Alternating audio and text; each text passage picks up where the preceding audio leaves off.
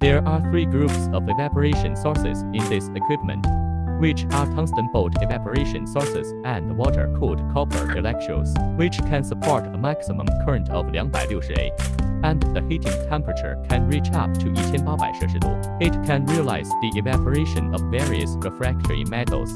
The three groups are independent thermal evaporation source, will not cause mutual contamination of plating materials, the equipment adopts an integrated design. The cavity and the electric control part are separated left and right, which realizes the separation of water and electricity and effectively ensures the safety of users.